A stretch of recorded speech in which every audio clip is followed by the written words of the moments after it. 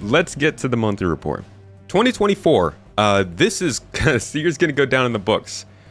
There's a lot of stuff going on. Like we're we're basically in the midst of another 3.0 era, minus the horrible drought. We kind of had a drought last year, but now we are we're flowing. We're good. We didn't get monthly reports back during 3.0. We didn't get regular updates back during 3.0. So it's better than it was back then, but in terms of how much it's changing, in my opinion, we're right back into the uh, lovely year of 2018, including the big tech overhauls with OCS and stuff. So this monthly report's got a lot of that stuff in it. It's got some ship stuff, ships you know and love, as well as some secrets, and we get to finally talk some more cargo. Let's start with the AI section though. In March, AI features continued to fix bugs and make improvements to human combat and other AI behaviors, saying, one particular bug threatened to become our new standing on chairs issue, that being a bug that has a lot of individual causes, so can keep cropping up in different situations. So like with that issue, we adopted a belt and braces approach that should eliminate it, even if it, even if new causes crop up in the future.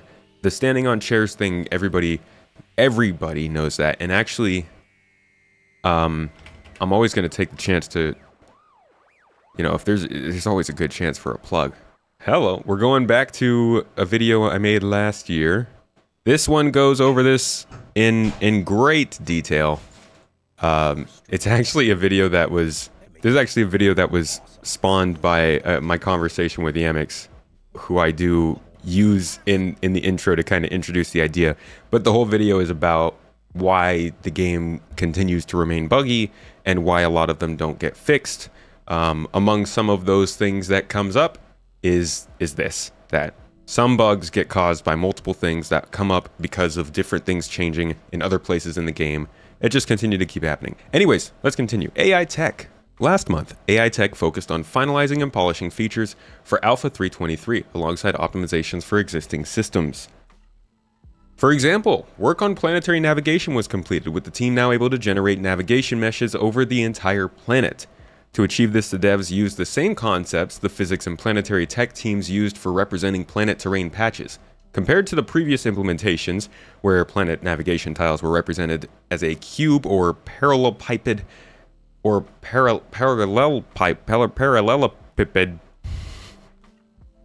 as used in traditional navigation volumes. I swear I've seen this word before, but I cannot.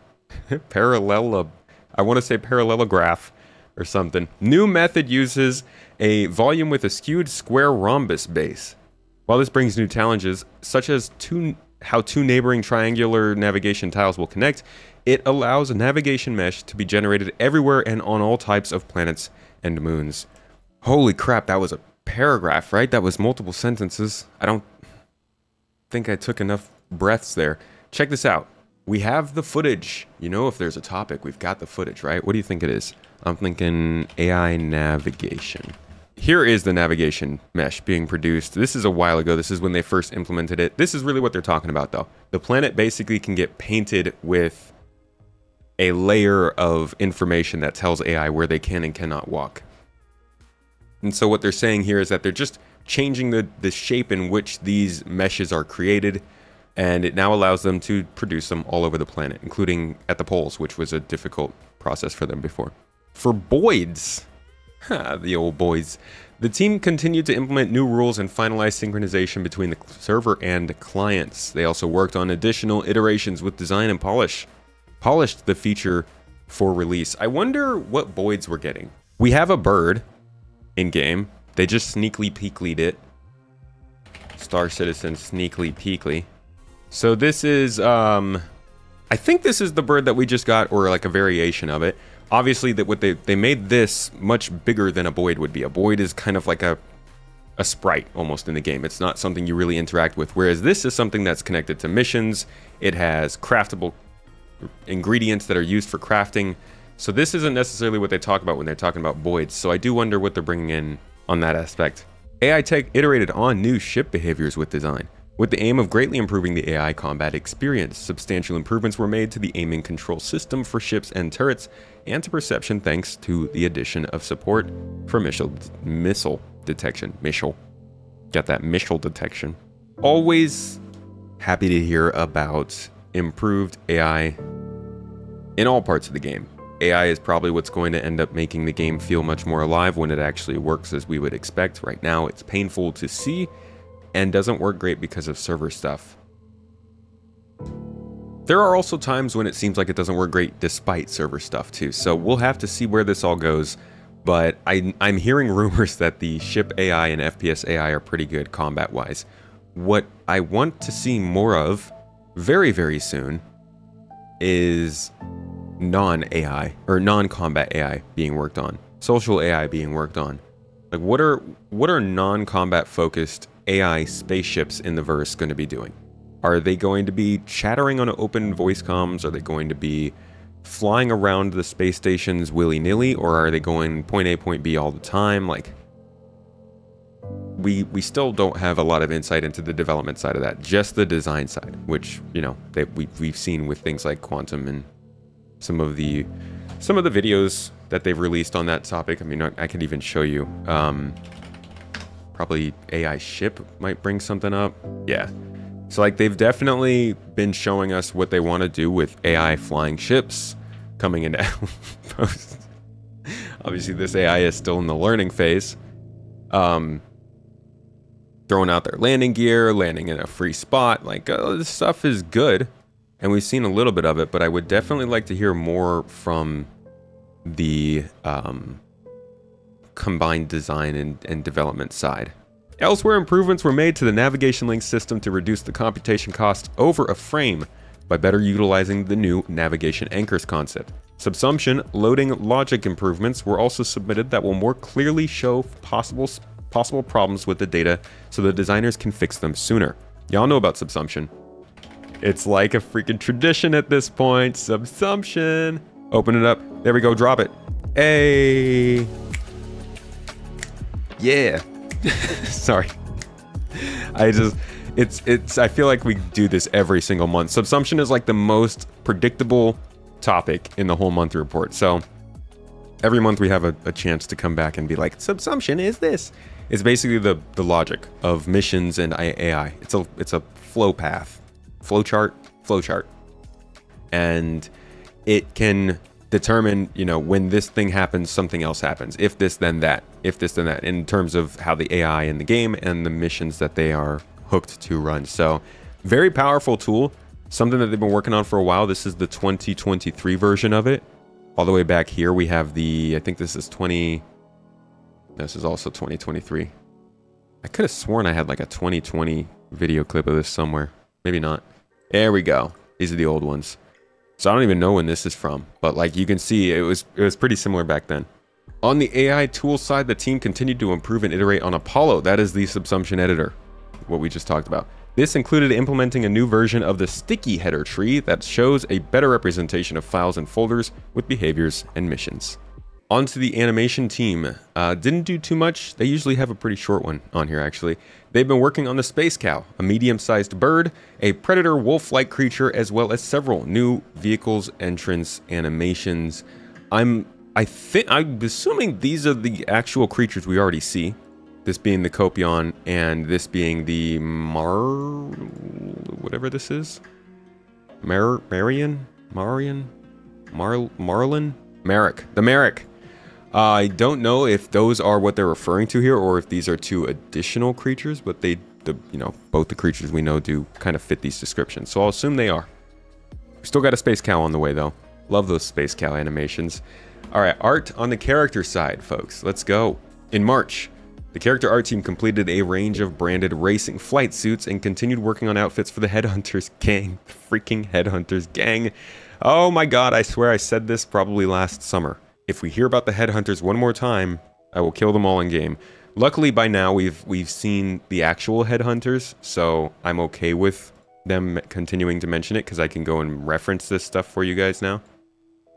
Which is what we like to do. This is how monthly reports go. Here you are. A look at the headhunters gang and what they've been working on with it.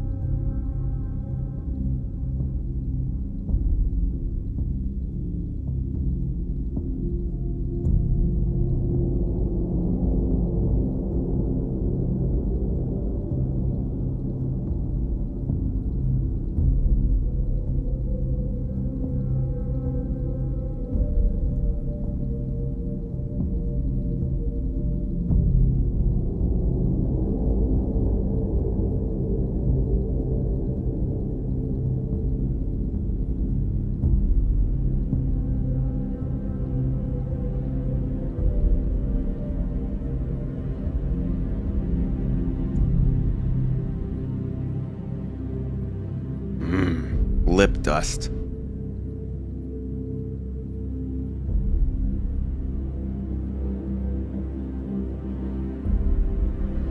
Like eye, lip, and nose dust.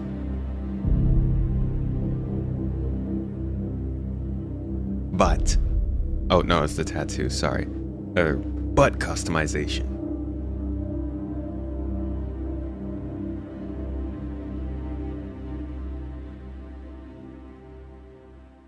All right. So that's the headhunters. Um, just for some, you know, context as to when we're reading these monthly reports, that's who they're talking about. It is a gang in. I think they're they operate in multiple systems. Hold on. Where are they based? Headhunters Gang, Wasteland vibe, uh, located in Pyro but offers completely different frontier aesthetic. So it says they're located in Pyro right now, but I do believe they are also in a couple of other star systems. So we might see them elsewhere in the game, but they are coming in for the Pyro system. They uh, have armor fabricated from metal and bone. I don't know what kind of missions they prefer to go with, but I'm consuming with the bones and the skulls and the stuff, they're kind of trying to say, hey, we're bad guys. We're, we're, we're violent. I don't think your claim jumpers are putting skulls on their chest. That would might send the wrong message. Art on the engine side. March saw progress on the RSI Zeus. Greybox was completed and all functionality has been validated. Da, da, da, With the ship currently in the beauty and polish stage, habitation and the central hallways made significant progress and are approaching completion, while the cargo hold continues to progress with the loading ramp's main piston structure improving rapidly, as well as the ramp interior and exterior. Oh, we got to make sure to check in on that main loading ramp piston structure. It's an interesting detail to call out. The landing gear is nearly complete and the overall exterior continues to progress too. Let's let's we why don't we check out what the RSI Zeus looks like. I know a lot of you are foaming at the mouth for this one. It is a it's a I don't blame you. It's a solid ship. Um, and it's a good size. It's looking like it's going to be really nice for two, three, maybe four people to skedaddle battle around in the game under different types of gameplay. You're going to have a little bit of marketing speech mixed in here, but this is a good look at the game, or at the ship in white box. This is months, months prior to where we are right now. So the ship is well past this, but here's at least, this should give you some idea of what it is. Concept. We're not just going to show you some images. The Zeus is actually in active white, dot, white box development right now. Do you just want to have a look? Shall we? Eh, okay. All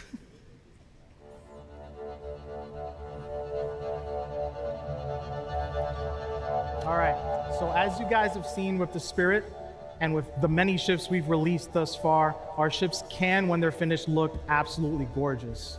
But before any of them get to that point, they have to go through a very specific development process. And this is the first stage in that process. We call this white box.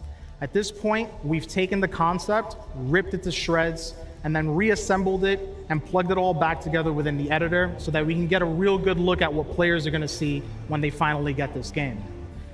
At this stage, with the Zeus, we've already ripped out all the thrusters, we've ripped out the landing gear, the turret, the seats, the beds, all of the interior spaces, plugged those guys back in, and we have what you see here.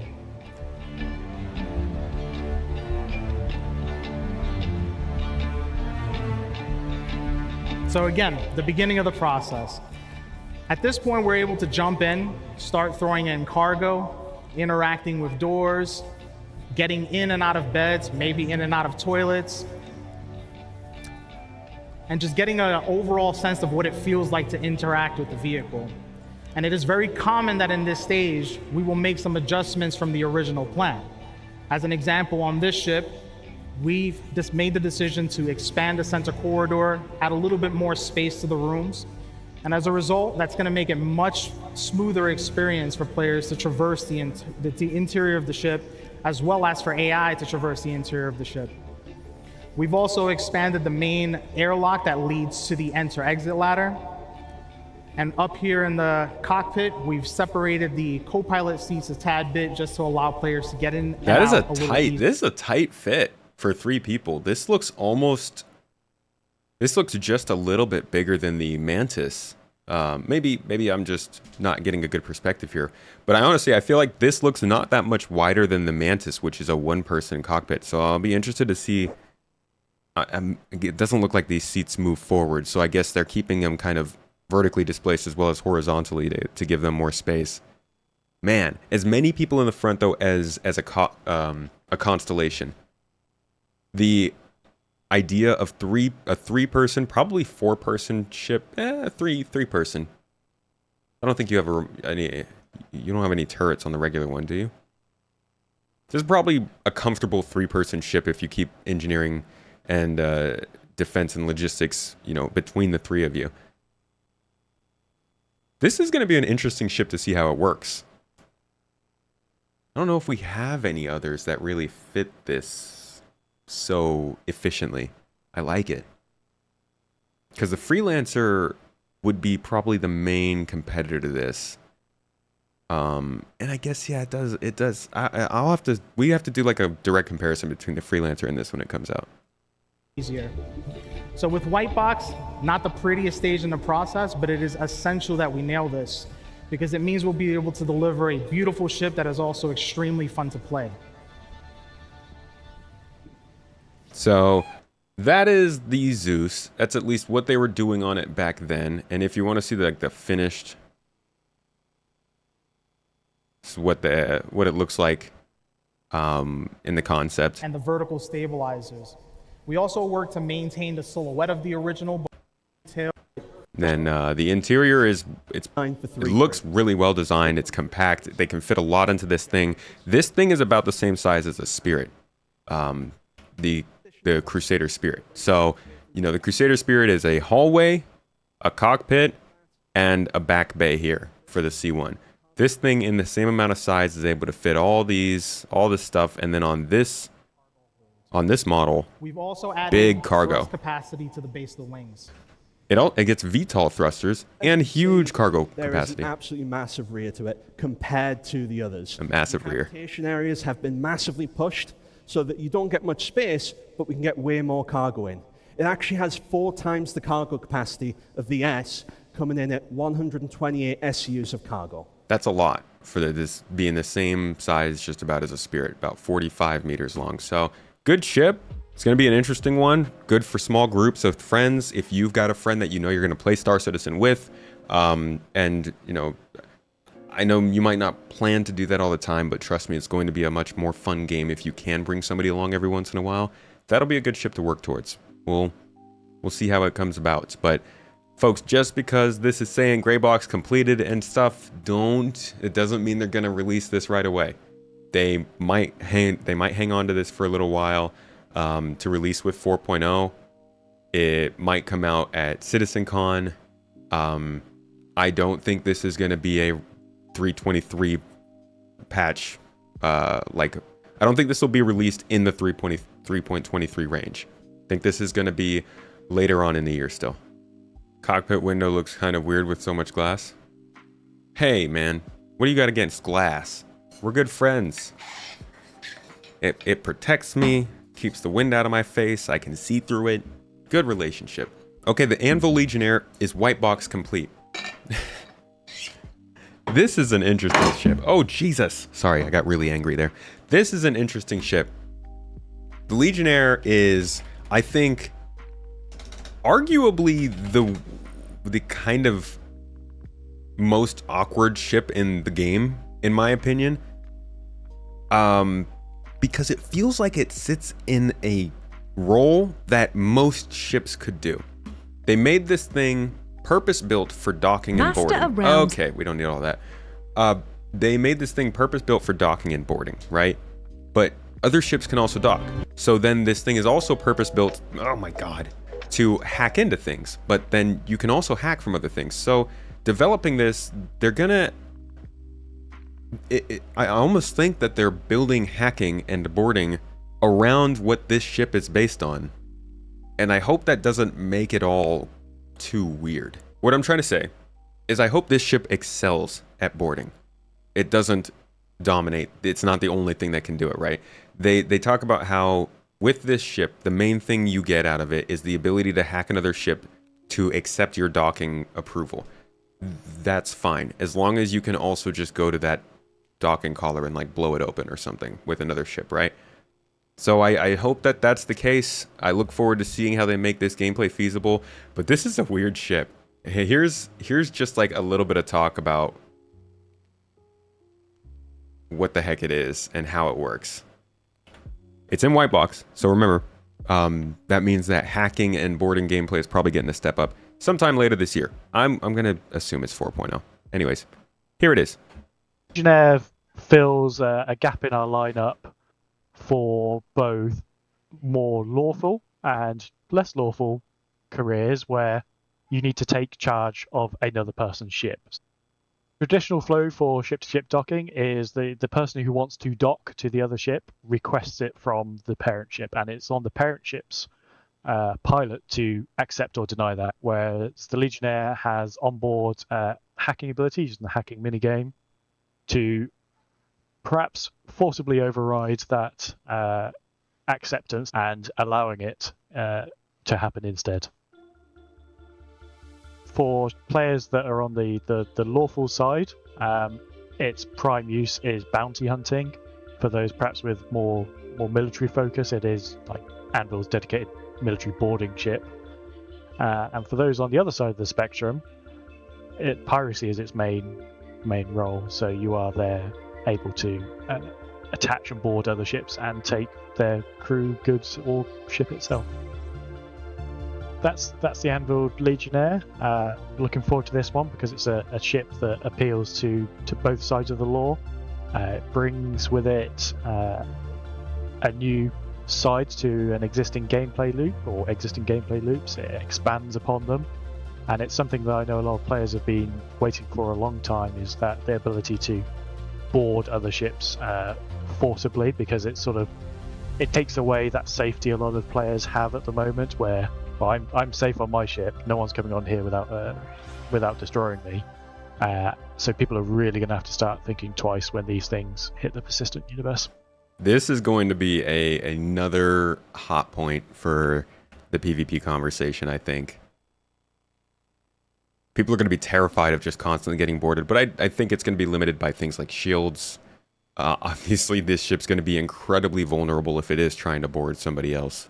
I, I don't think that forceful boarding is going to be a problem unless you get like you're attacked by a gang, right? Who's brought themselves a quantum dampener and all this stuff. And this this again factors into like with damage systems changing, ships aren't going to blow up. So everybody's like, "Oh, why would we ever board a ship when they all just die immediately?" They're they're not going to. Uh, pretty soon they're not going to. You're rarely going to just blow up. Most of the time your ship will just get disabled and you'll have to call for a beacon for help. You'll have to ask for repair or something. Somebody will have to come out and get you. You get your ship repaired or you get towed back to a station. Like there's a whole deluge deluge of things that can happen out the verse that are going to diversify things a lot, but at the same time, man, with the way that people are reacting to like things like engineering, uh, people are very hesitant at this game getting deeper in this sense. And I know a lot of that is because people think it's going to be monotonous kind of gameplay, but yeah, there's a lot there's a lot of conversation there. You'd say, well, that's because this is the first iteration of that gameplay. They're getting in the basics and they want to build upon that to make it better. And then the response is, well, they need to stop giving us alpha stuff. It's been 10 years and it's it's a circle of conversation. Um, but I do hope that while I worry about how this will come into the game, ultimately I hope it comes in and it helps to complicate experiences and make more variation for gameplay. That's my bottom line. More choices. The team's work on the resource network began with 10 ships nearing completion. Nice. Nearing completion is good. It's only 10 ships, but it's good. We're working, we're getting there. Say maybe, hopefully, if they can get 50 50 ships in? I don't know. Do they want to have all the ships done for engineering by 4.0? What's the plan there? Some of which of them uh, received the update list of ship items. Following gameplay validation, relay locations will be polished. Update work on a legacy ship continued too, with updates to the dash cockpit and some exterior housings. Wonder what the legacy ship is. And I wonder if they're insinuating it is the RSI ship, or if this is the, uh, this might be the Zeus that they're showing us here. what's the file name? Art ships. All right, core gameplay. This is the most exciting time. Uh, this is the most exciting part of the monthly report now because they've just combined all the exciting teams into one section. And it's going to take us a while. Last month, the gameplay team, my friends, the gameplay team. Uh, it successfully passed the go no go gates for procedural recoil, new scopes, dynamic crosshairs, and reload improvements. Further bug fixing is currently ongoing for these deliverables. All of these are pretty uncontroversial. Dynamic crosshairs gets people a little bit, but that one is disableable. Um, I think the biggest things that people are not happy about with the FPS stuff right now are the, um, I guess it's the the scopes, kind of the new scopes and the view they give, and uh, hit markers. I think progress was also made on ammo repooling, including network optimizations and bug fixing.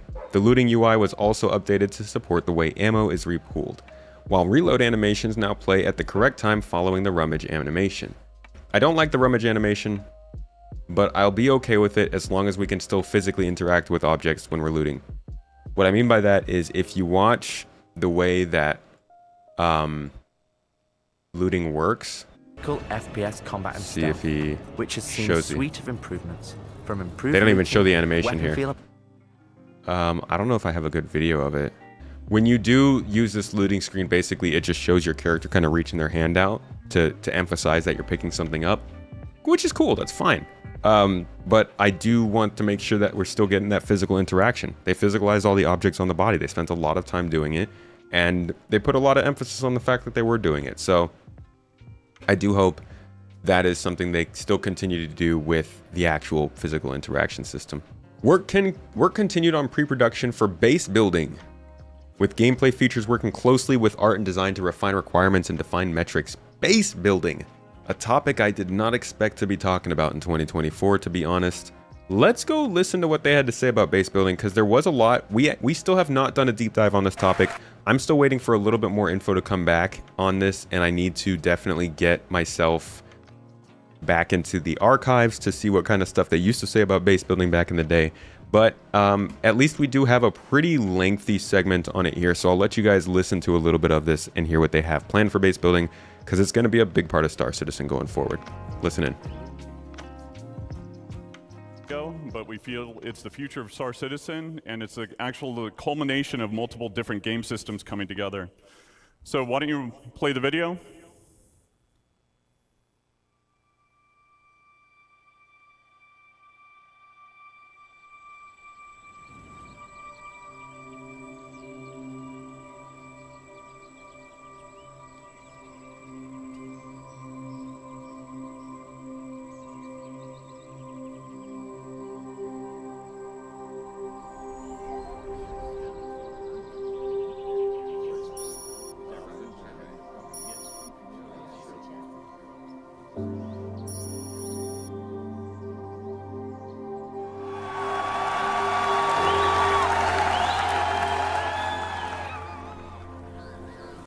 All that came up because of it said land claim down there, and people realized this was base building.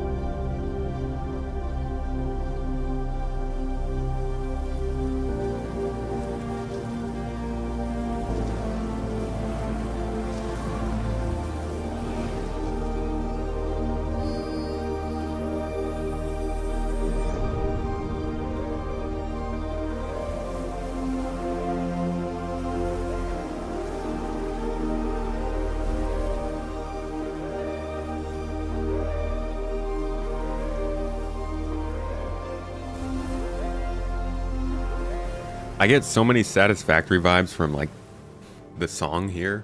and then like this visual, there's like a visual up here.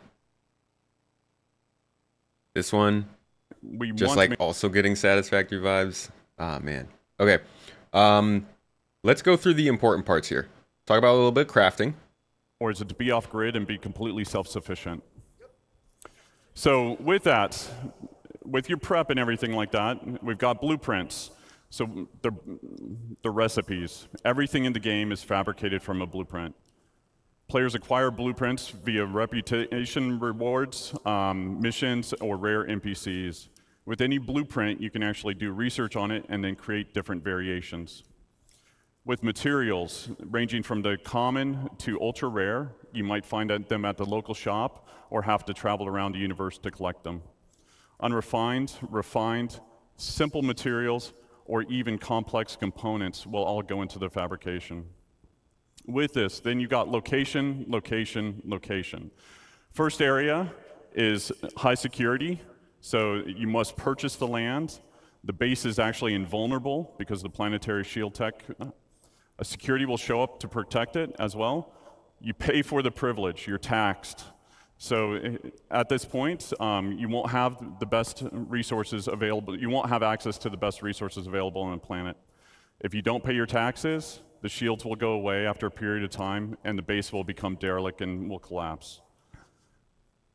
But this is low risk, low reward. Then you've got low security. So again, you must purchase the land. It's owned by an independent corp, gang, or faction. Again, you don't have access to all the best resources on the planet. The base is vulnerable. AI NPCs will show up and protect the base if it's attacked. The protection will escalate um, over time. Player can also build defenses to help mitigate this as well. And then it's medium reward, medium risk.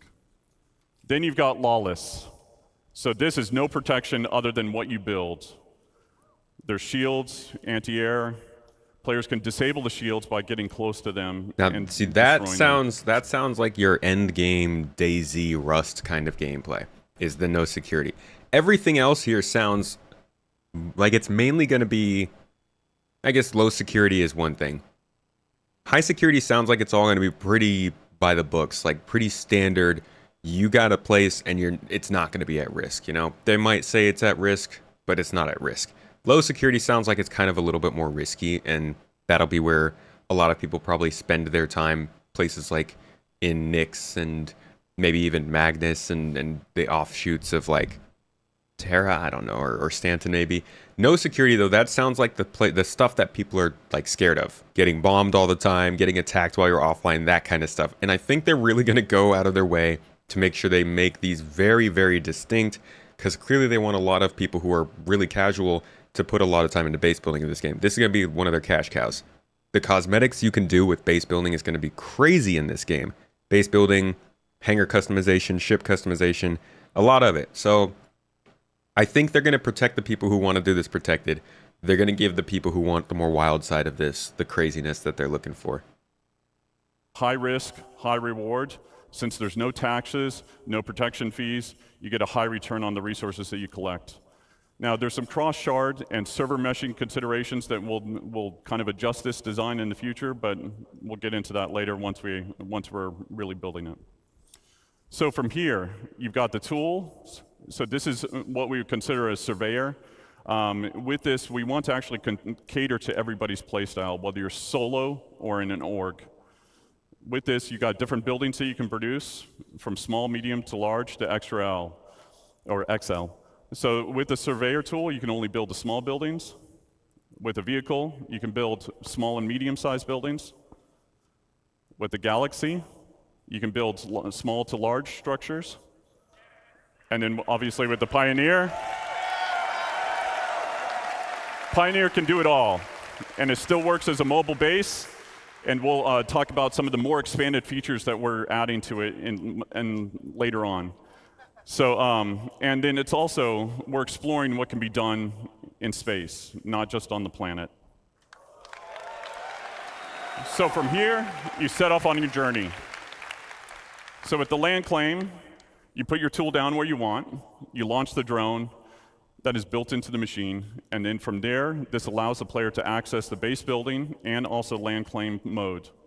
With the land claim modes, the player can actually change the size and position of what, what area they want to claim, and it also shows you the cost and taxes associated with it. If it's in a taxable zone and you don't own the land, this interface will default to it. So if you own land or it's in a lawless area, it'll automatically go to base building mode.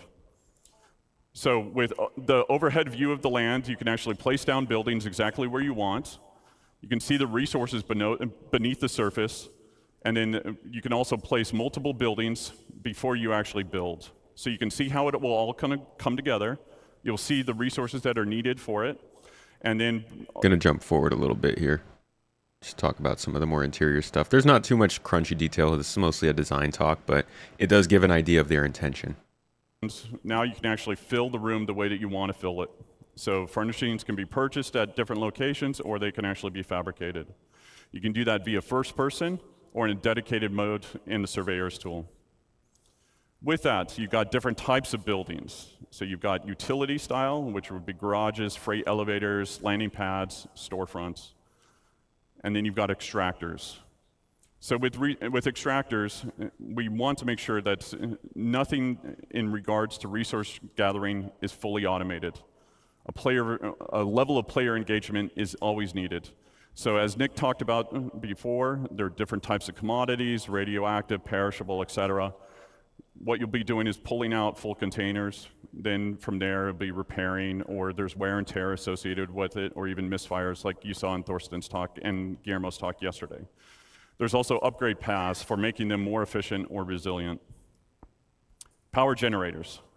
So with different types of power generators, there, there'll be some that are more cost effective as well as effective in different areas.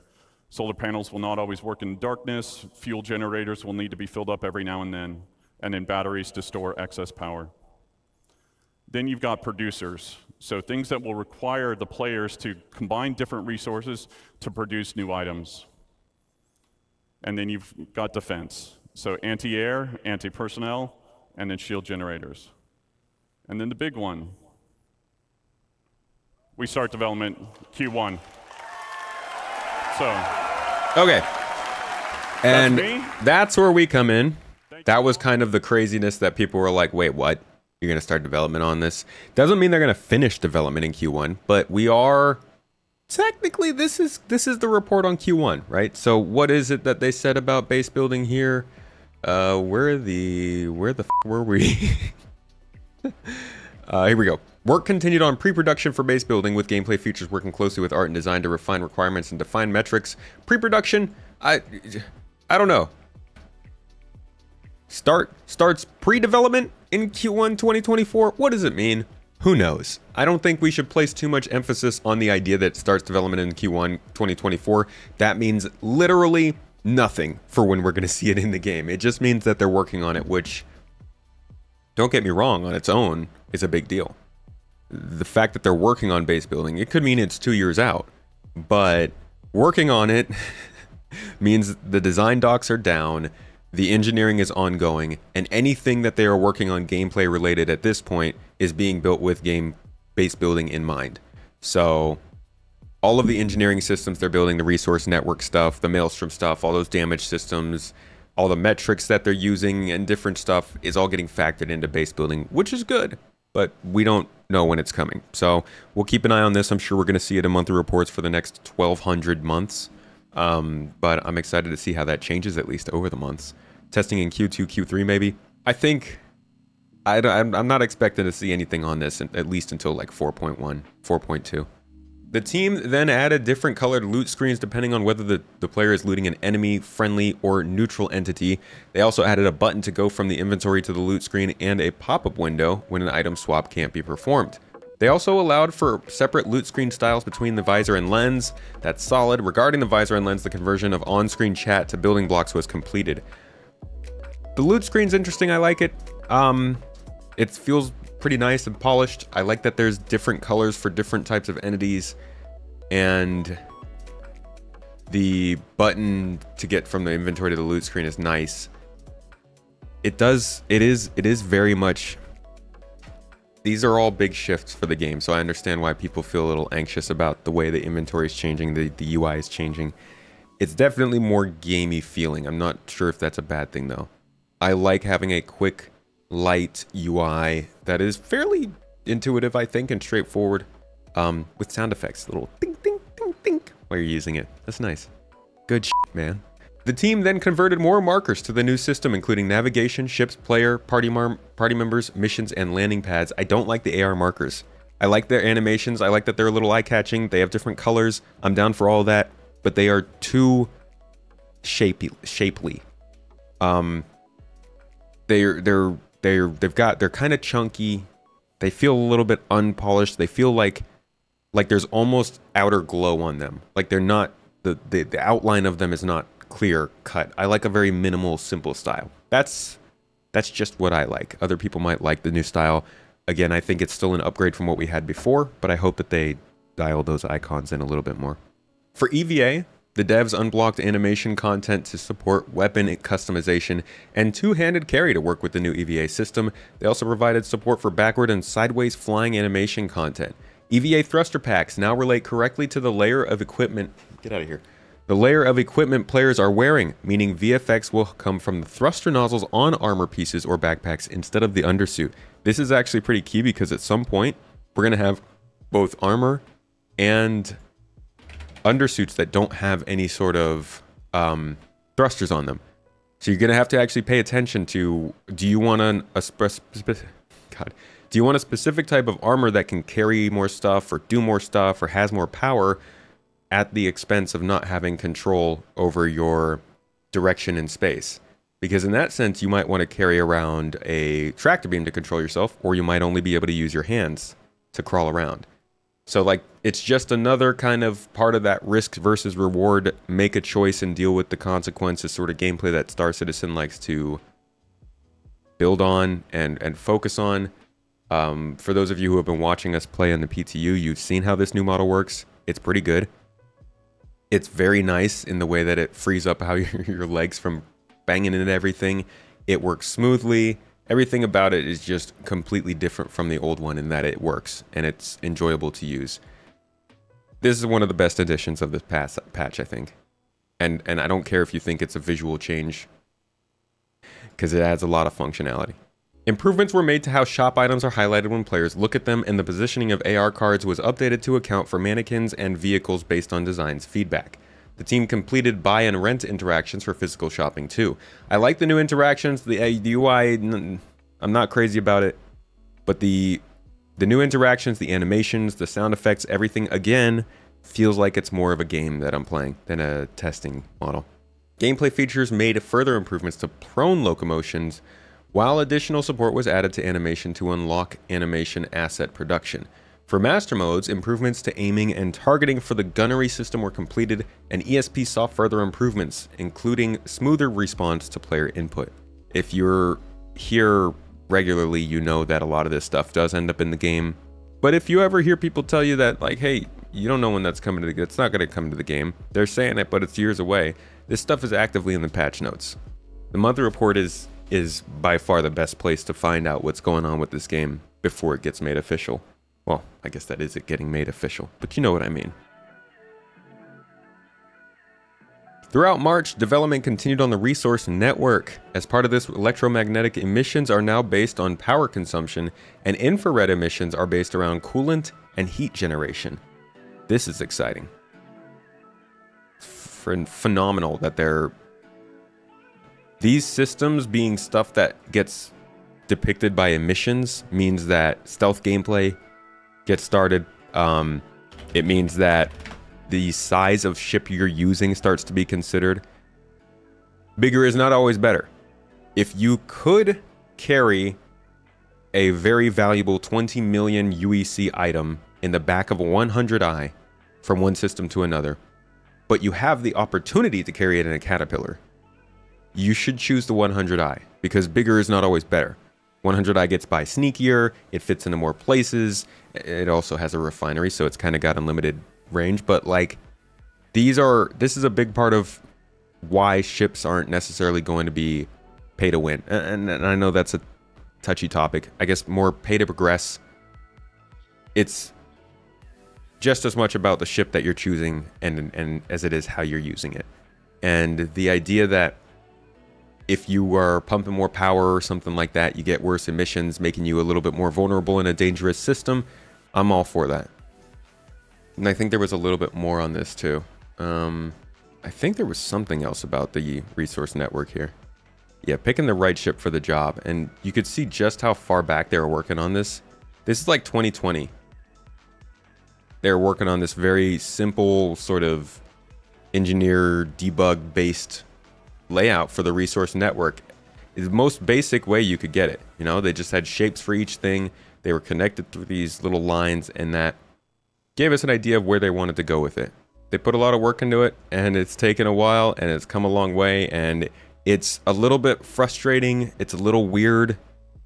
It might make you very nervous about the direction the game is going in, but it's a system that they've been they've built the entire game sort of with the expectations that at some point this is how it's going to work. And uh, they'll have to dial it in. They'll have to figure it out. We're not getting the full implementation of it yet, so it'll probably feel a little weird with some holes missing. But this is kind of the quote unquote Sea of Thievesing of, of Star Citizen, if you will. Where were we? The team also improved various debug tools and fixed bugs and supported the ongoing testing of an experimental Arena Commander mode. A temporary solution for ship hull penetration was added until Maelstrom is ready for to support physical ship armor. This is a big one that'll stop ships from dying so much. This system, they say, is subject to change as development and testing progresses, but currently all projectiles can deplete armor health. However, only ballistic weapons can penetrate the, the hull and damage internal components. We saw this during my engineering um, session on the stream on Saturday. If you weren't at that stream, it is on the main YouTube channel. You can check it out. It's got like nine and a half hours of footage to scroll through, but it is there. You can see the ballistics flying through the ship. For life support, the team optimized the dynamic room atmosphere pressure uh, system and made it network compatible. Various improvements and refactors were also made to the room system, and various debug tools were greatly improved to, imp to allow the team to test the system before the player-facing UI is complete. Life support should be interesting. How many of you are going to troll your friends just like take the oxygen out of their room while they're piloting the ship? For transit, the team's primary focus in March was supporting cargo elevators and instanced hangars. Alongside general refactoring, this required adding hangar destination exporting, communication between the transit and instance managers for available hangars, the ability to dynamically add destinations to transit carriages, requests for the creation of hangars, and support for capturing peripherals and dynamically added hangars. This is basically all about making sure hangars get spawned correctly when you request a new place to land at a space station. Additionally, work began, oh, okay, for radar and scanning, the team updated radar zone queries to use the new zone query time splice tech to improve performance. Additionally, work began on signature categories, which allow the team to apply different signature detections based on emitters. This can be used to independently detect components on a ship with higher emissions. For example, thrusters compared to offline shield generators. Again, huge stealth details.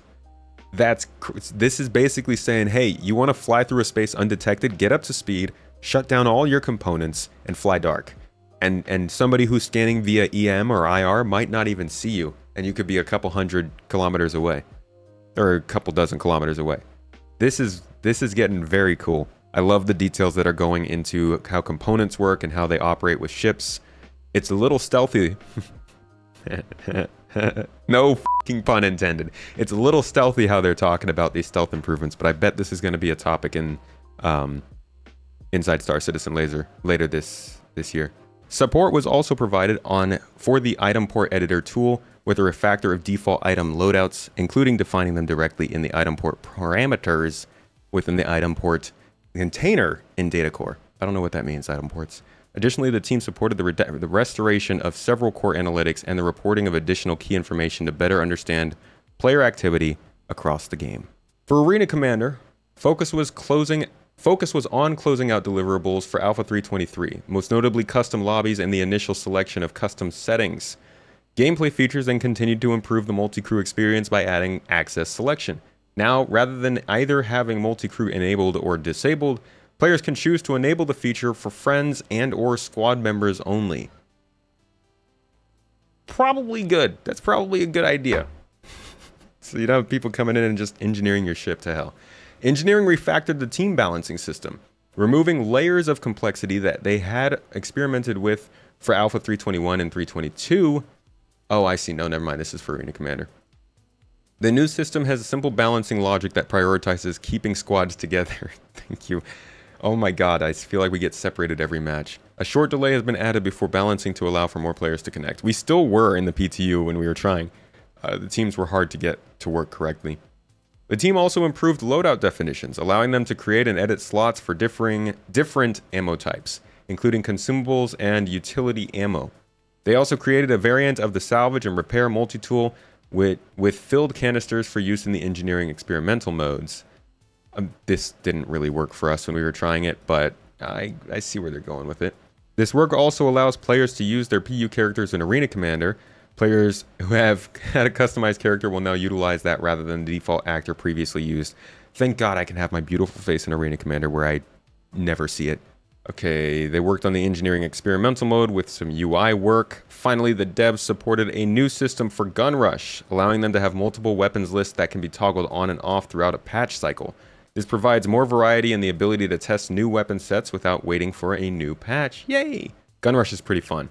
Once the game can run at better than 20 frames per second in the Arena Commander for me, I will I will check it out. March saw progress on reputation-based hostility, with the team fixing several issues with the new reputation system.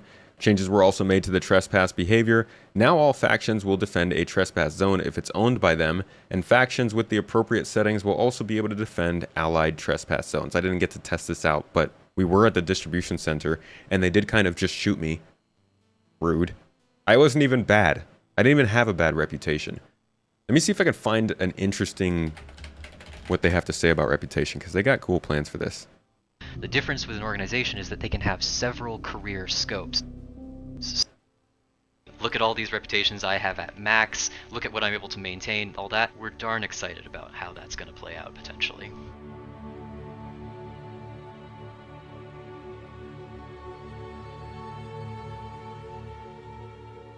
So for this release, a lot of our focus is around missions and how that's going to be affecting things like your affinity and confidence. But going forward, you'll be having actions that affect your reputation of other kinds. So that's going to be things like a mission giver where you might push them, but it also could be like if you shoot at them, or if you shove one of their friends, or if you talk to them in the wrong way, if you choose a bad choice in a conversation tree. It could be any number of things. Um, we even have so, talked about some fun stuff where like Constantine Hurston for instance is a bit of a snob. You walk in wearing a bad coat or like some weird clothes, he might think less of you. You can also key it off of things like when you happen to raid um, a ship that is controlled by maybe Crusader security. That's that's a pretty important one that people miss when they talk about you know you're not going to wear your helmet or you're going to be wearing a helmet all the time. You don't need to customize your character. Some people won't talk to you or might not give you the mission if you're wearing a spacesuit. You might want to actually switch into something that makes sense to go see them in. I'll let him say that again. Some fun stuff where like Constantine Hurston for instance is a bit of a snob. You walk in wearing a bad coat or like some weird clothes he might think less of you you can also key it off of things like when you happen to raid um, a ship that is controlled by maybe Crusader security. We could key it off of something like you go into the wrong area. I mean, you just walk into a club where the bouncer doesn't want you to be there. We could key it off of you having the wrong decal on your ship or flying in a way that a person doesn't really think that you're flying in a cool way, essentially. It's very open ended. One of the things that we're really looking forward to is giving flavor to organizations by essentially playing with what they like and don't like. So there might be an organization that really likes it when you go around PvPing and killing other players. There might be organizations that frown on that a little bit. There might be organizations that really, really like it when you do piracy or smuggling or illegal acts, and there might also be some that aren't so okay with that. And that feel is going to allow us to bring a lot of the lore that up until now has existed on a website into the game so that you guys can actually experience it and get to know these people in the universe. Still mostly on a website. Like most people don't know what we were even doing during the Overdrive initiative, so they need to work on this. But it is a goal. It's from 2021 few years back when the reputation was first coming into the game. But yeah, they're gonna there's gonna be a lot kind of built into the idea of how they see you and perceive you uh, based on what you do. Okay, for the Moby mobiGlas, work continued on the redesigned contract manager. Last month's work included adding a button to read or unread mission info and a toggle to switch between legal and illegal missions. I liked the idea somebody mentioned in chat here of having to go through a process of um, having to go through a process of getting access to illegal missions rather than just popping up on your Moby mobiGlas by default, and I like that a lot more. Maybe giving players immediate looks at illegal missions isn't the best idea gameplay wise, and maybe it doesn't make the most sense lore wise, but I'm I'm sure you know they want to make sure that there is like this starter. I don't know. I, I think there could be they they could do a very cool legal mission that turns into an illegal mission that ends up with you getting access to more illegal missions because you don't want to lock people out of having a, an illegal handholdy step into that world. It just feels weird having it be the first thing you see when you open your official i don't know government approved communications device. The team then made journal compatible with the new mobiGlas and updated the home screen including added visuals for recent notifications, active missions, and the player's current jurisdiction and crime stat level. I dig the Moby mobiGlas functionally wise. I feel like it's a little bit a little bit not exactly the kind of like it's not it's not my favorite design style. Um but you know, I see I see the direction they're going in and it's consistent. That's a if it's consistent and it works, I'm down for it. So this is the new home screen they're talking about. You can see they've got the notifications here, contracts, the health screen, a new dedicated health screen as well. And I think it's consistent, it's informative, it's functional, it's cool. Design-wise, it might not be my favorite, but I could care less, man. As long as it, it fits the game and it works and it does what they want it to do, I'm down for it. Improved debug tools were added to a cargo hauling to cargo hauling missions too such as the ability to debug complete parts of the, of the hauling order to simulate collecting or delivering freight elevators. Search or March saw progress on hangars, including the instance interior manager that handles instance logic and reserves gateways for transitioning between the outside world and hangar. Now, players calling an elevator or retrieving a ship in supported locations will create an instanced hangar that the transit, air traffic control, and law systems correctly respond to. This is again more of that instancing technology in the background. Improvements were also made to the freight elevator kiosk, including the layout, branding, tooltips, delivery screen, and platform handling. The devs are currently integrating the kiosk with the personal inventory framework. The item bank is now functional and correctly uses the storage locker and updated delivery slash selection logic. And improvements were made to the warehouse system to support missions too. All this going into freight elevators and personal hangars and basically the, one of the biggest parts of 323. For the commodity kiosk, updates were made to the design along with the packing behavior and autoloading display. Support was given to the lighting and VFX content teams towards ship loading platforms too. It's good updates from the game, the core gameplay segment. Let's talk about economy though. Last month, the economy team continued rebalancing commodities, making sure they have a scalable algorithm that will work with other systems like crafting. Mission rewards are being rebalanced according to the difficulty and time required to complete them, as part of this, the team are working to better understand how much effort and time is required to perform specific activities in game. In game pricing is currently underway for new Harvestable and Hangar Flare 2. Hangar Flare, cosmetics, economy is coming together. I think I'm going to make a video about this before 323 because it's a bit of a stealthy addition to 323 how much of the economy they're balancing now. Economy are currently involved in the design of reputation and org progression and are starting to balance the time and cost of auto-loading freight elevators. They also provided support for cargo missions. Finally, a comprehensive list of all intended resource source resource sources, terraformers, transformers, and sinks were created to help ensure the economy is stable for the long haul.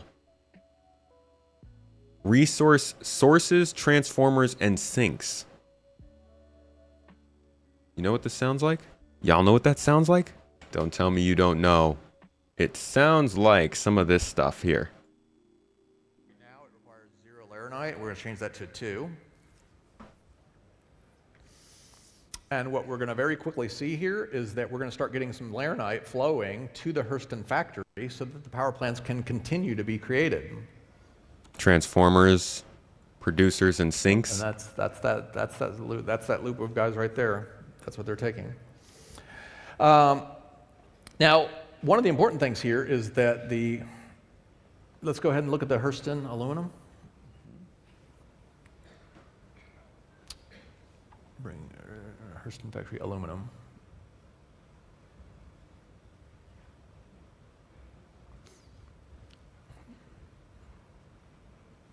Now, what wound up happening there is it was very low for a period of time, and that's because they were actually burning off that aluminum inventory as fast as they could get it. And the reason why you see that spike there in the aluminum inventory is because as soon as we altered the formula so that power plants now require laranite, they were still receiving from all these freight, freight, freighter transports, they still had aluminum coming in, but they could no longer produce power plants. So it stalled, and all of a sudden they started stockpiling, stockpiling. And then when you see that the aluminum started falling, that's because finally the, the, they started receiving supplies of laranite and they were able to resume the production process. And so all of a sudden, their aluminum started getting burned off at a natural rate.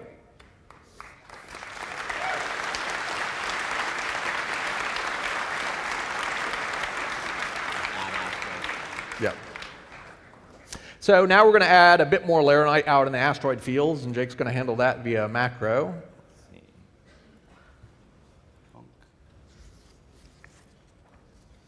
So they're basically they're showing off that you got R Corp, which is a shop. You got a uh, Daymar refinery, a Crusader refinery. These are examples of transformers, I think. A shop is an example of a sink. A Delamar mine is an example of a producer. So when I read this in the monthly report, I'm reading they're getting together a list of all intended resource sources, transformers, and sinks. These are all of the refineries, the space stations, the shops, um, the outposts, the mining claims, every place in Stanton, and probably Pyro too, that creates all this stuff is basically getting tabulated so that they can start to maybe not even start to, maybe just continue to get it all organized so that when the quantum simulation actually can run and has the, the scale to do so, it just plugs in that data right here like this. That's the hope. That's not, I'm reading between the lines here. This isn't anything from CIG themselves, but it does sound like some of the more important economy stuff we've been waiting for in terms of supply and demand and dynamically changing things based on what's actually happening in the verse. Really cool to see. We're going to keep a close eye on the economy segment over the next few months because this might be a 4.0 targeted thing they're working on. Graphics, VFX programming, and Planet Tech. Throughout March, much of the department's focus was on bug fixing the various deliverables for Alpha 323. Performance scaling options were added to the water simulation to ensure it can scale to all hardware, while various improvements were made to water boundary shading and visor wetness to achieve a seamless effect as players enter water. Gotta get that visor wetness for the real game effect. Support for distanced field collisions were, was also completed for more accurate collisions from vehicles.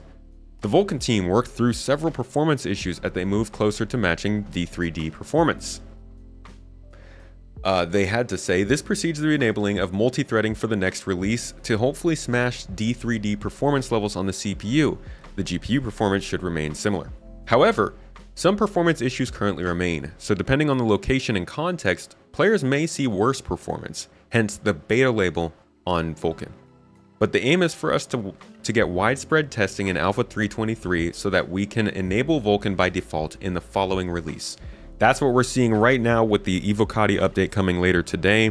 They are enabling Vulkan in the game so that you can use it, but they won't be making it manda- or not mandatory. They won't be making it a default rendering system in the game until the next release, probably 3.24 or 4.0.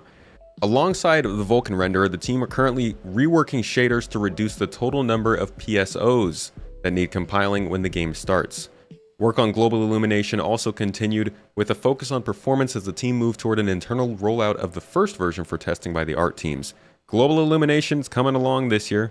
We're about to get upscaling, the Vulkan renderer, global illumination, and possibly even frame interpolation all within a year of each other. The optimizations. Mmm, yummy. Not to say that the game's just magically gonna run better, but like those are pretty big steps in the optimization realm if if I know any better. I don't know better, so you know, somebody else in chat may may confirm. The Planet Tech team started working on Planet Tech V5, with initial focus on the groundwork required to set up spatial partitioning. They're currently deciding how this will work with server meshing and server crash recovery. The devs also introduced the concept of default planets for the internal editor so that it's trivial for anyone to create and use a planet for testing. Man, I can't believe they didn't have that already. Um, they're not talking about the shiny parts of Planet Tech V5 yet, and I'm wondering what they are. They keep talking about more the angle of this is going to help us make planets better. Yes, but how will it make them shinier? On the VFX programming side, in addition to water improvements, the team continued with networking support for the fire simulation. They're also making changes to the augmented reality render layer to enable support for holographic lenses or weapons, sorry. So water and fire. That's good fun. Fire is going to be an interesting one on these ships. Muzzle flashes, projectiles, enemies, and impacts all getting holographic support. The in-game branding and locations teams work together on Invictus launch week with work approaching completion. The branding work for cargo containers and additional signage for various locations is also nearly finished. In Interactables last month, item banks, now called Gear Storage, were finished, including a heavily worn version for Grimhex. They were then placed around the verse for convenient access. Pictures aren't loading again. Don't do this to us. Let's move on to locations. Last month, saw the locations team polishing content for Alpha 4.0. They also closed out the upcoming distribution centers, adding content and quality to give players the best possible experience on launch. They also kicked off pre-production for new mandates officially beginning in Q2. Yay! I love new mandates. We get to hear about these next next quarter in monthly reports. The landing zone team finalized art for instance hangars and prepared them for implementation across the verse. That's we've been hearing about that. Eyeballs, moist eyeballs. All right, mission design. This is where, this is actually, I think, a new one. Yeah, mission feature team was restructured. So this is where we get to hear about some, uh, some good fun. Oh boy. Last month, the mission feature team was restructured, becoming the mission design team. Despite the name change, the team will continue to build scalable modular content for the PU. Like, dis despite their not having features in the name anymore, there are still features involved, believe it or not. Following feedback on the Overdrive Initiative event, the team is revisiting, revisiting the standard data heist missions. Currently, these missions are locked to a single player, who can then share the mission with their friends, which causes a bottleneck for the missions and locations. In response, the team are trialing a change that will allow a singular version of the mission to be accepted by four players who will play together as contractors. This is an effort to free up missions and locations and create a similar effect to, to Overdrive Initiative where people who usually play solo are part of a team, potentially building friendships and enhancing the MMO feeling. this will be after after Reputation does a better job of making sure people don't just shoot each other. I mean, I guess if you have negative rec, you're not going to get these these missions. Actually, wait a second. The data heist mission, isn't that an illegal mission? So like, are you trying to pair up a bunch of people who naturally like shooting folks into parties in which they're not supposed to shoot folks? Work progressed on the upcoming cargo hauling missions, with players being tasked with hauling tracked goods from one location to another as requested by a shipping company, with a consistent payout of roughly 20% of the cargo's value. A hauler's income will be more stable than that of a commodity trader who buys low and sells high as the market fluctuates. Still, once a cargo hauler gets comfortable with the professions, they might try their luck at community trading. So one of you had mentioned this. Uh, somebody was asking about this. How, how are they going to do it? Are they going to force you to always buy the cargo and then ship it? Or are they going to let you take a contract that has you working for a company? The contracts are how you're going to build up your reputation, get more advanced missions, get specific trade routes that send you on specific missions. I just said that. The trader version of this is going to be about buying a material, right? This is literally what we were just watching in this video. Buying a material at a certain place, waiting for that price to maybe spike or for that stuff to become more valuable, and then selling it off at a different place when you realize that they're going to pay more for it. That's where those commodity price changes in the mobiGlas started out. That was kind of their first version of trying to get that going. They want to apply that to all these locations they're talking about. So there's going to be a lot going into into the cargo hauling profession, and uh, like I said, I'll have a video coming out about that tomorrow. While the player is legally allowed to transport the goods, this is talking about those commodity trading missions you could get uh, assigned to you. This is actually the coolest part, in my opinion. While the player is legally allowed to transport those goods, they don't actually own them, right? You're just getting paid to transport. As a result, lawful stores across Stanton won't even buy those commodities if you try and take them and sell them somewhere else. To sell the to sell this shipment rather than delivering it, the player must navigate to a fence. So now these are different kinds of contacts in different places in the game. A no questions asked shop, often located in an unmonitored space of Stanton. However, due to its tracked nature, this cargo fetches a significantly lower price than original or ordinary sandbox commodities. And this will apply across different star systems and stuff too. So this is a big detail in the cargo hauling profession that's saying even if you decide to take a contract, right? You sign up with an NPC organization and you're basically just running a standard mission. At any point during that mission, maybe you'll get an offer, not even just from an NPC. Maybe a player will approach you and say, "Hey, if you transport if you transfer all that stuff out of your ship and into mine because right we've got the physical transportation this isn't just like some kind of value that gets placed to your ship and then you take that to, to another space station and then your ship magically transports the cargo. These are cargo boxes physically put on your ship that at any point you could take give to another player and they could go sell it.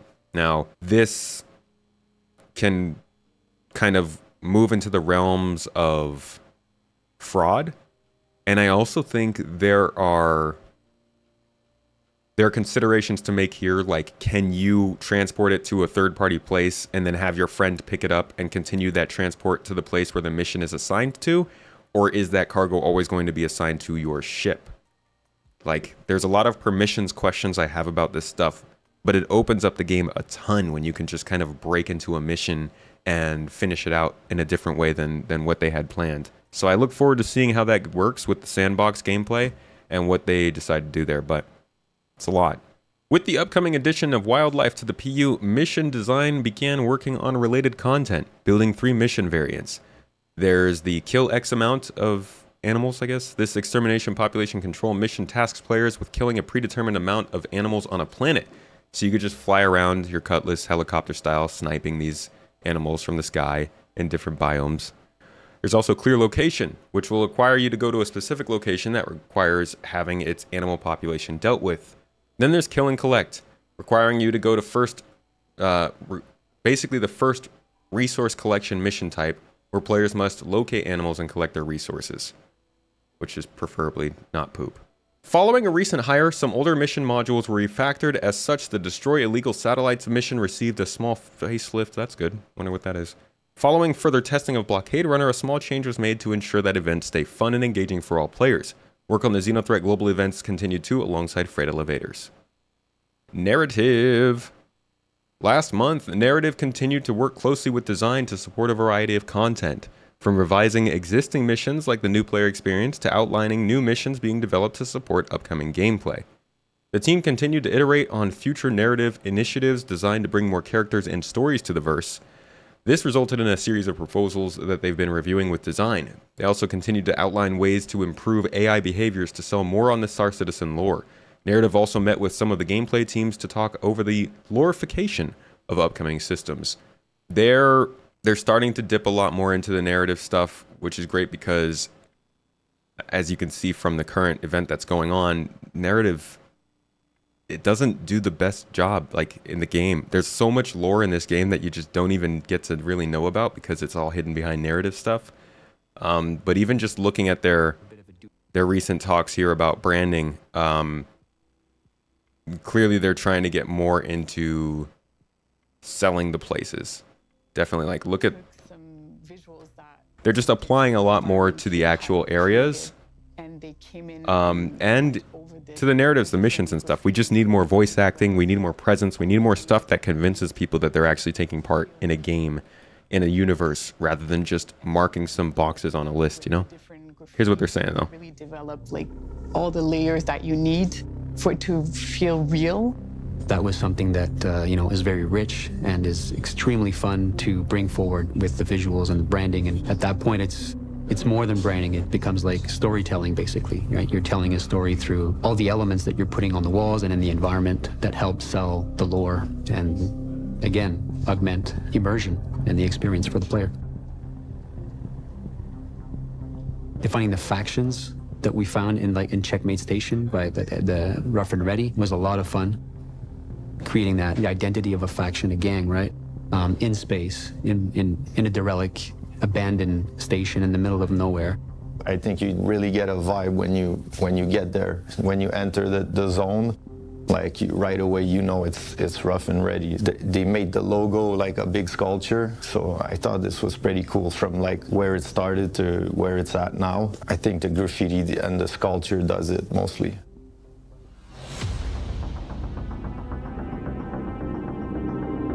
Had the opportunity to work with the character team to define a little bit of the uh, tattoos that go in line with the direction that we had, you know, for the type of faction we wanted this this gang to look like. I started to brainstorm around tattoos, which were all uh, bringing a bit of like uh, violence and of contrast All right. on parts kind of of the skins just of the sell sort of what they're doing with branding. You can also see it back here. They talk about like how the ships, the manufacturers are all starting to get more into their categories and what they're supposed to look like. So a history of the brand, basically, a little bit what they're about, uh, a tagline. So this is where you know we're collaborating with the narrative team to to come up with these uh, the information for this, and then that is the first the, the, the starting point. That's all part of the uh, the brand style guide. A style guide is for everyone to really get to understand the company, and we you try to keep it simple, but you put all the elements you need, like the logos, the colors. You're allowed to use the typography that goes with that company, even shapes. Every company has colors. If the primary color is blue, let's say you can't you can't go out and do like branding for that company or make it like red, you know? So we're all trying to like tie everything together to make sure everybody's on the same page. Now this kind of sounds like they're just starting this. They did do this for a while. They, I don't. I just don't think they had it. I think a lot of the full company organization is only just coming together over the last several years or the last few years because a lot of the time they just haven't even had enough people on the teams in the PU to, to put the extra work towards this stuff. A lot of their effort went towards Squadron 42 and before and I guess during that too, a lot of the effort was just about building the game, the base of the game, the the engine itself, the technology that drives it. And that's where we're starting to see a little bit more focus on narrative and branding in the game itself finally. I hope that continues and speeds up too cuz definitely need more back, backdrop. Online technology team said in March the online services team worked towards refactoring the social services backend. This involves porting the services to gRPC as well as making updates for server meshing. The team are currently working to reduce EAC anti-cheat false positives in preparation of enabling sanction enforcement. Lastly, online services finished finished off long-term persistence work for the character customizer, enabling players to save their characters between patches. This is in 323. So, uh, a solid addition for sure. I think that's a big one for the character customizer. R&D. In March, work continued on the temporal render mode. Render mode? Render node? Render mode. Tracking movement of objects moving through clouds was improved so that history can be rejected or kept as correctly as possible. A novel method was developed because typical disocclusion algorithms only work for opaque scenes. But the team wants uh, the team wants objects to fly through transparent clouds, be partially occluded by clouds and fog, and etc. The generation and blending of soft depth of soft depth for clouds and atmosphere was improved. Uh, this depth information is crucial to properly handling history rejection when moving through clouds. A lot of cloud cloud stuff going on here. It is the clouds look great, by the way. What we saw in the 323 PTU the other day when we turned on reference was holy crap, it was beautiful, and we were running at pretty good frames too for Star Citizen.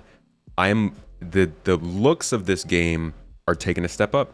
It's it, it's funny because we've heard year after year how this game is not going to look good when it releases, and year after year the engine team is able to continue to improve the graphics because they own the engine and uh, they're still working on it.